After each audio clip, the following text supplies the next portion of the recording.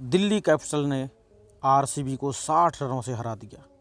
दिल्ली ने पहले बैटिंग करते हुए 223 रनों का एक विशाल स्कोर खड़ा किया, जिसके जवाब में आरसीबी उसे प्राप्त न कर सकी। सफाली वर्मा ने चौरासी और मेगा लेनिन ने बहत्तर रन जोड़े। दोनों ने पहले विकेट के लिए एक सौ बासठ रनों की एक रिकॉर्ड साझेदारी कर डाली वोमेंस आईपीएल में, और वोमेंस आईपीएल का बहुत बड़ा रिकॉर्ड स्कोर बना डाला दो सौ तेईस रनों का।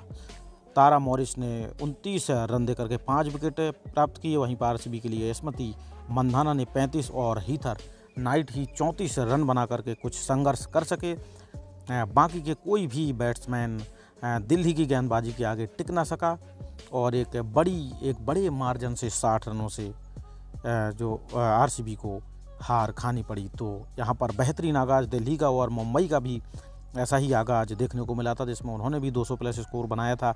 आरसीबी मेंस की तरह वोमेंस में भी उनका ये प्रदर्शन ठीक नहीं कहा जाएगा। हालाँकि आरसीबी में अभी वो मादा है, वो वापसी करने की वो कुब्बत अब भी आरसीबी में है।